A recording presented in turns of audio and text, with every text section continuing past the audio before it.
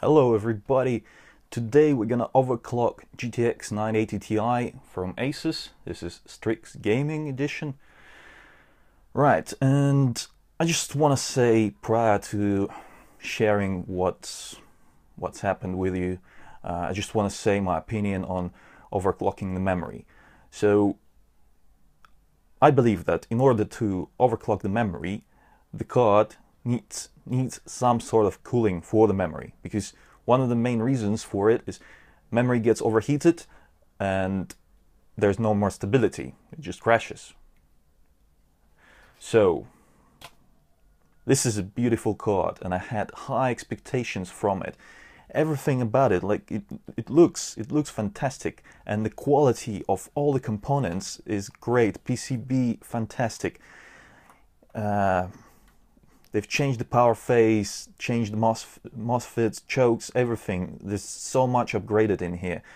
The one little tiny problem is that there's no there's no cooling for the memory. I don't know how Asus managed to overlook it, but there's no cooling for the memory. It's just bare chips. So yeah, I'm going to talk about that more um, in my full review of this card, but just wanted to mention this because because I, I didn't overclock the memory for the reason that you just said. I believe it needs to be cooled in order to overclock it. So I didn't overclock it. The only thing I overclocked on this card was the core. And uh, yeah, disappointing. Disappointing.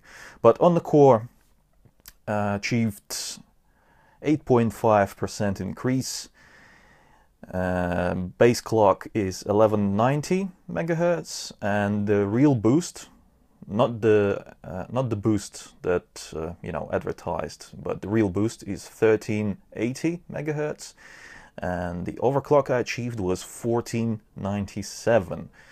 So yeah, uh, that is pretty nice, but it seems like um, none of the 980 Ti's are able to uh, go past go past 1500 megahertz mark um, because of some sort of uh, I don't know.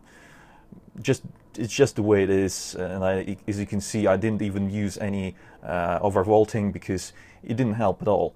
Um, it didn't help bring the stability even using full voltage. And um, basically in order to get high clocks you need some kind of extreme cooling like liquid nitrogen or chiller.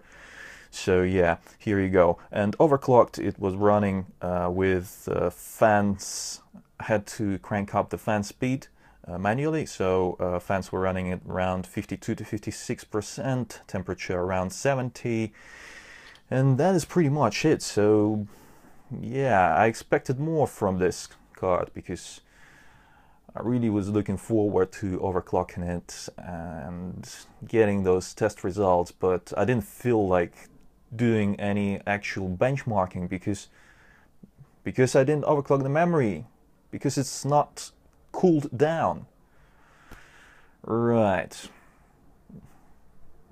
Let me know in the comments below what do you think about all this if you think that I was wrong not to overclock the memory or do you think I was correct. Until next time, RG out.